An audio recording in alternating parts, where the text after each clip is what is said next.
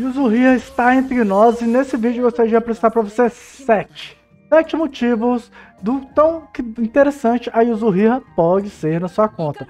Aproveitando que ela está agora né, no evento para nós conseguirmos pegar ela gratuitamente e infelizmente né, ainda não sei se ela está na Pulse, se você conseguiu pegar ela, deixa aí nos comentários porque só teremos aqui mais quatro upskill.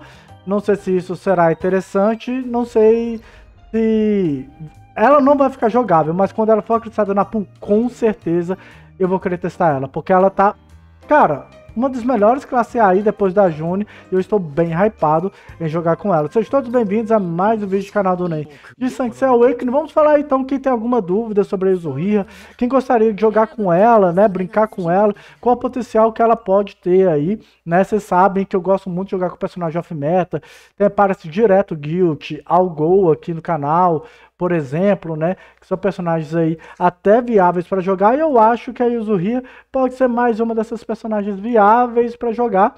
Dá para tirar algumas vitórias com ela. Não vai ser meta, mas vai ser viável aí para brincar com ela. Então, vamos falar aqui dos seus atributos, que são atributos horrorosos, né? De passagem, sobrevivência baixíssima, então vai depender aí de uma sobrevivência. Ela tem um ataque quase A, né? É, ela é 2.800, mais 2.700 de ataque A, se eu não me engano, que aqui tá, está nos duelos sagrados. Então isso aí já é um defeito dela, né? A sobrevivência. É, outro detalhe dela agora que a gente vai começar a falar dos seus pontos positivos, né? E vamos começar pelo primeiro motivo para investir na Yuzuhira muitos ataques e ainda se bufando. A Snuhira, ela é uma personagem que dá vários ataques por rodada, mas antes da gente falar desse tanto de ataque que ela pode oferecer por rodada, ao você utilizar o ataque básico dela, ela vai se bufar com é, nível crítico, para causar mais crítico aí nos seus ataques, já que ela pode dar até 7 ataques sem ações extras por rodada. Então isso aí é muito, muito importante. Isso aí já fica o combinho para Artemis, para Shun MM, né, para você potencializar isso no nível 5, ela consegue acumular até 3 vezes, aumentando aí seu nível crítico em até 30%. Então isso aí é bem da hora para se utilizar. E se não sobrar energia, também tem como, ah, vou usar ataque básico, pelo menos ela vai ter um efeito adicional com seu ataque básico, potencializando seu dano futuro. Aqui não tem limite, então parece que é para a luta inteira também, tá certo? O teste no chinês e a luta ficou inteira. Agora vamos para o motivo número 2, múltiplos ataques. Eu contei para vocês que ela pode ter até 7 ataques por rodada. Isso mesmo. E como ela pode ter 7 ataques por rodada, né? Isso é muito ataque. Então, ela tem aqui o chute rápido, e toda vez que ela usar, né, vai causar 130% de dano no nível máximo e um dano adicional de mais 6% do PV máximo com seu chute. Então, quanto mais PV ela tiver, mais dano ela vai causar, beleza? E quando ela tiver 5 ataques, né, ela vai acumulando esses chutes, quando ela der um quinto ataque, adicionalmente ela vai dar mais um ataque extra, que é o chute reluzente, que vai causar no nível máximo 175% de dano físico e dano fatal equivalente a 35% do PV perdido do inimigo. Aqui fica um pouquinho confuso, né?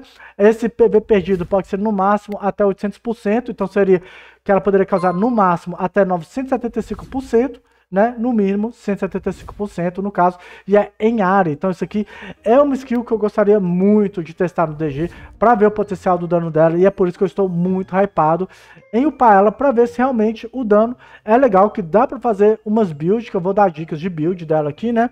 para vocês fazerem uma Izuhira top aí na sua conta, que ela poderá usar 7 ataques por rodada. Ela pode dar 6 ataques desse e mais um ataque desse. Como assim? Porque ela tem essa skill aqui, a linhagem de Jamiel, que toda vez que um aliado der algum ataque fora da sua ação, um Orfeu causando dano, um Hypnos causando dano, um Cano com seu fantasma, ela poderá dar no level máximo até 5 assistências que é usando o seu chute rápido. Então, cinco chute rápido aqui, mais um chute rápido aqui e mais um... qual é o nome da outra skill? É, chute reluzente. Então ela pode dar até 7 ataques. Olha a quantidade de ataques que a Yuzuhira dá. Lembrando que toda vez que ela dá a, o chute reluzente pela linhagem do Jamel, ela vai focar o inimigo com PV mais baixo. Isso é interessante. Se você tá focando causar dano em um, ela sempre vai atacar aquele, não vai ser aleatório. O lance é, se você mudar de alvo, ou der um ataque em área, um outro lá ficou com menos PV, isso aí pode prejudicar na sua estratégia, mas ela vai estar tá dando ataques extras aí. Então isso aí é bem legal também, ok? Então, a Izuria é uma personagem muito, muito da hora. Ela tem um potencial de dano absurdo, passa de mil por cento, porém é muito pincelado. Aí o problema é que se o inimigo tiver uma cura, um Hypno, um Saori, essa galera que fica curando pincelada aí também, parece que o dano dela vai ser um pouquinho inútil. Mas você enfrentar alguém ou banir esses dois, cara, ela vai poder causar um dano extra bem interessante assim, analisando bem as suas skills. E agora nós vamos para o motivo número 3, as asas de Grow. E também é uma skill de custo 2, tá? É uma skill defensiva, só para você ver como ela é bem eclética. Ela causa dano, ela reforça o dano de algum aliado seu e ainda ela tem dois efeitos na asas de Grow. Ela vai colocar uma aura em campo, tá? Formando um campo de força que protege todos os aliados. Ela tem um tempo de espera, não pode usar toda a rodada. Usou uma rodada, na outra rodada não usa, né? Outra ação, melhor dizendo. E aí depois ela pode usar novamente, ok? É tipo o, o Defteros com a outra dimensão, o GM com o Satan Imperial, por aí vai. E o que acontece? O campo de força pode absorver dano até uma quantidade equivalente a 60% do PV da Izuria. É bem baixo, 60% do PV da Izuria, sei lá, tipo uns 20, 30 mil, né, de dano, imaginando uma Izuria aí com 150 mil aproximadamente. Quando o campo de força é quebrado, ela ainda adicionalmente vai ter uma chance de controlar o inimigo, mas tem acerto de status, então poderá ser resistido, tá? E é sempre o inimigo que quebrar esse campo de força dela. O último que causou dano nesse campo de força, ela vai, tipo, dar um contra-ataque de controle nesse inimigo, beleza? É, ele vai ser restringido por uma rodada. Eu não consegui identificar se esse restringir é o mesmo do Minos, é o mesmo do... Como é que fala? Do Shun que eles é considerado restringir. Talvez possa ser isso. Então aí se for se restringir, a gente sabe que não pode ser purificado apenas pelo Lune, né? Só o Lune que controla restringir, se eu não me engano. Agora nem eu tenho certeza também. É, mas enfim, então é isso. Esse aí é o efeito que ela causa, né? Subindo o upskill, ela só vai aumentando aí a proteção. Então você pode ver que ela é uma personagem bem eclética, se auto-bufa, vários ataques e ainda dá proteção extra, né, para o seu time, gera shield extra, eu acho isso bem bacana, só que não mostra visualmente né, a quantidade de shield que ela tem. Só fica uma aura, quando a aura sumir é porque acabou. Agora vamos para o motivo número 4, que são efeitos extras que você pode aplicar na sua Yuzuriha. Como vocês podem ver, eu estou usando Elfo de Sangue. Cara, a Yuzuriha, por ela dar tantos ataques, inclusive um deles em área, você pode buildar ela com Cosmos Lendário para reforçar mais alguns efeitos. No caso aqui, o Elfo de Sangue, aumentar o dano da minha equipe causado no inimigo. Você pode utilizar aí também um desacelerador diminuindo a velocidade de todo mundo quando ela dá ataque em área e individualmente em algum inimigo também. Você pode potencializar o dano dela usando uma víbora, por exemplo, usando uma quimera, já que ela é atacante físico e vai aumentar ainda mais o seu crítico. Né? Então dá para você utilizar muitas, muitas estratégias. Em destaque eu vou deixar a Roca, já que a Roca também ela pode gerar muita energia também, beleza? E é isso que eu pensei no momento com ela, acho isso bem legal da Yuzuhia. Continuando, vamos para o motivo número 5, parceiros de crítico, né? Então, como ela causa muitos ataques, a galera que gosta de receber o benefício de ativação de crítico vai ser beneficiado. Então, se você tem um Radamantes na sua build ou um Milo Divino querendo acelerar ele para dar os ataques em área, ela vai ser uma excelente aquisição aí e com certeza quando eu tiver a minha Izuhira, eu vou fazer um combinho aí de Izuhira mais Milo. Mas aí eu vou deixar o combinho lá no vídeo da Izuhira com Milo quando eu tiver ela, beleza? Me cobre aí quando ela entrar na pool e eu deixar ela pelo menos um 555555. É o que eu pretendo deixar ela para trazer aí as primeiras gameplays. E agora o motivo número 6, combos atrativos. Então, como ela dá ataques extras quando você dá ataques extras, é muito interessante você utilizar uma build que favoreça isso. Lembrando que ela pode ativar até dois ataques extras por personagem. O Orfeu, que dá seis ataques extras aí, né, nos inimigos, é muito bom. O Aldebaran Divino também é muito bom. O Hypnos fica dando muitos ataques também. E o Cano com o Fantasma. O Fantasma dando dois hits ou mais, ela também persegue duas vezes né? O Cano só vai dar um hit na primeira rodada, né? Possivelmente. Mas na segunda rodada ele muitas vezes consegue dar dois ataques extras, né? Então ela vai conseguir ativar os cinco ataques. A build para a nossa Yuzuriha é isso. Tentar fazer sempre um time que dá vários ataques extras. Tem Artemis, Tasha. Então, meta é o que não falta para combate com Yuzuriha, se tornando uma personagem bem fácil de encaixar no meta atual também. Então Izuria tá delicinha mesmo.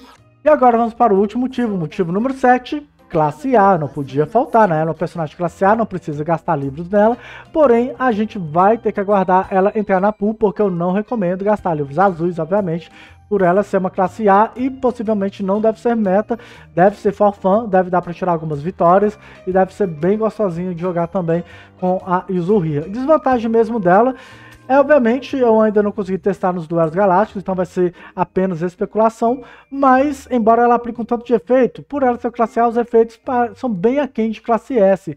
Então o dano dela vai ser bem meh. A proteção dela também é bem meh, mas tem um controle adicional, pelo menos, para favorecer aí também, tá certo? E seria mais isso, mais a, a questão do dano e daquelas curandeiros picados, tipo Saori, tipo Hipnos, prejudica mais a efetividade dela de causar dano, já que ela causa dano pingado aí no inimigo também. Vou mostrar aqui uma replay para vocês, é, como ela desempenha né, o seu trabalho.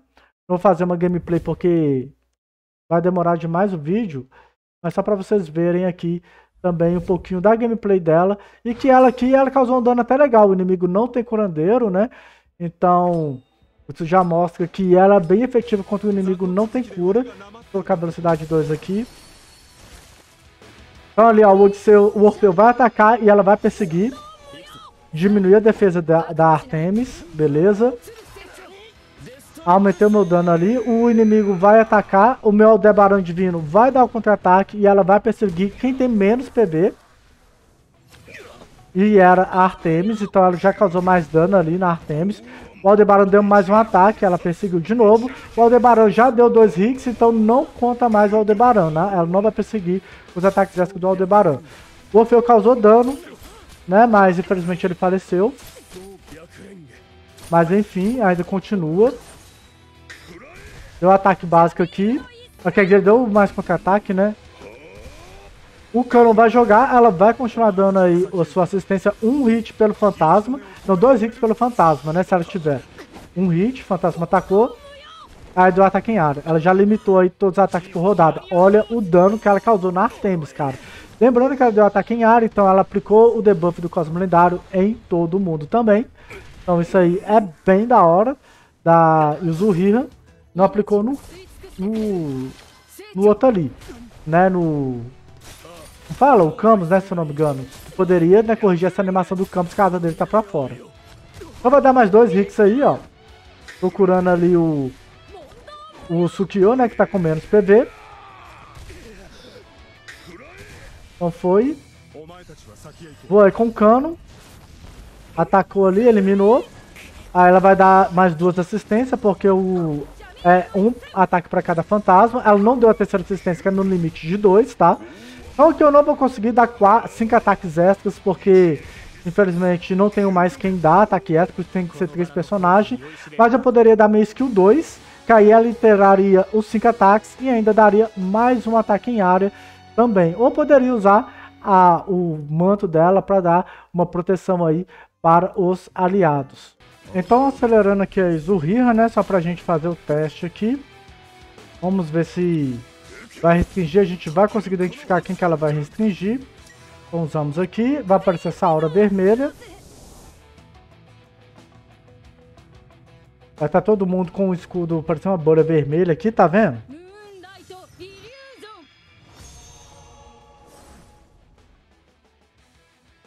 Tem que esperar só o inimigo pensar, né? Que ele tá pensando demais aqui. É o Jaime, cara.